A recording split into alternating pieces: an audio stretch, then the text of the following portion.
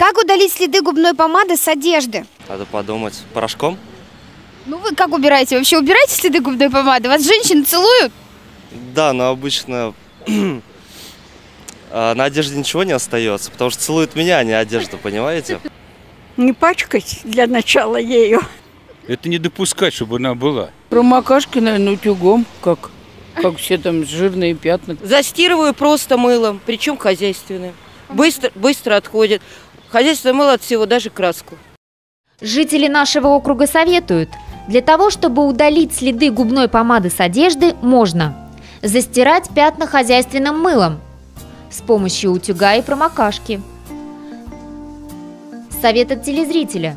Для того, чтобы удалить пятна губной помады с одежды, побрызгайте их лаком для волос и оставьте на 10 минут. Затем протрите влажной тканью или губкой и постирайте, как обычно.